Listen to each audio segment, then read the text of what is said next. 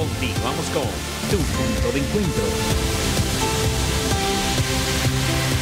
Y llegó la hora de salud, porque hay que cuidarnos y la verdad en muchas ocasiones no tenemos en cuenta la salud, sino cuando estamos enfermos. Puede sonar muy lógico que vamos al médico cuando ya estemos mal, pero si hacemos medicina preventiva, pues seguramente vamos a ahorrar muchísimo dinero. Y si cuidamos también nuestra apariencia física, pues muchísimo mejor. Por eso hemos invitado a la doctora Mónica Iria, Indiarte, ¿cierto? Indiarte. Ay, vea que sí lo, sí, sí lo dije Lo dijo bien. Sí lo dije bien.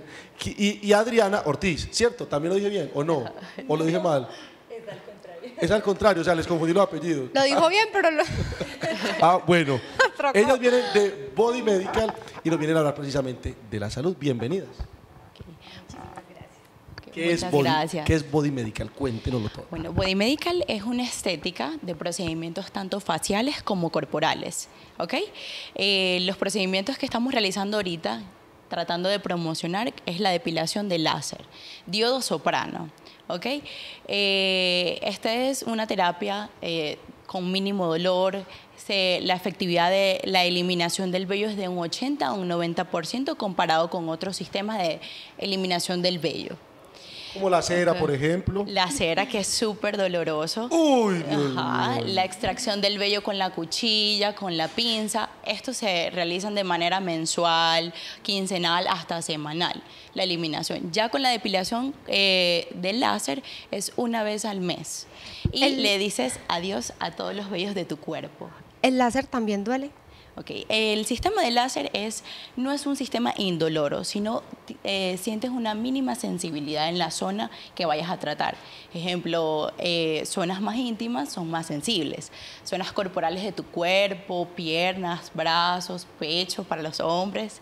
Esas son zonas menos sensibles. Bien. En ese caso, eh, ¿se puede aplicar algún tipo de anestesia? Pues digamos, hay personas Sí. que también hay un, ah, hay un margen de dolor, hay unas más fuertes que otras, hay unas que no lo van a soportar. ¿Se puede hacer? Claro, esto no- lo trabajamos eh, primero previa valoración médica, indicamos la intensidad de acuerdo al fototipo de cada una de las pieles, pieles muy sensibles, las muy blancas o muy oscuras.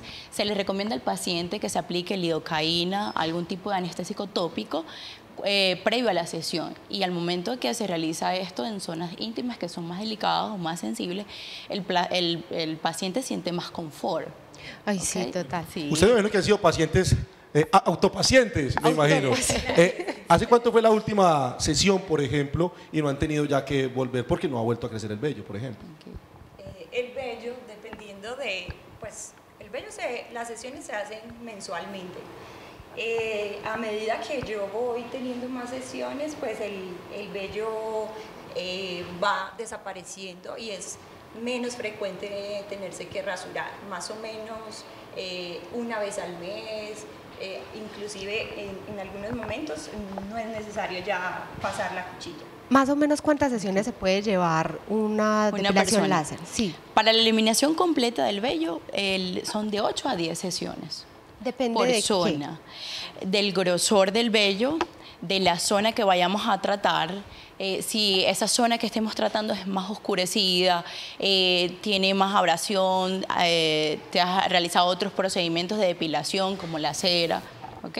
El vello es más grueso en las zonas de axilares, de bikini. La zona facial, axilar, ya esas son zonas más, más sensibles de, de- de realizar la depilación. Y si uno no es tan bello, no mentiras. Eh, resulta que eh, los hombres, pues tenemos el, eh, vello más, más grueso, obviamente. el- los poros es más difícil. Eh, digamos que el láser necesita ser más potente, son más sesiones, o es igual que la mujer. Ok, realmente eh, hay un mito en comparando eh, solo las eh, depilaciones para la mujer, también es para el hombre y para la mujer. ¿Qué sucede? Ya con el hombre nos llevaríamos un poco más de intensidad, debido a que el vello es más grueso, eh, pero sí tiene su efecto. Al igual tanto en la mujer como en la piel, no, no, se, no hay diversidad en la piel, porque se trabaja por fototipos, pieles oscuras, pieles claras y a la sensibilidad.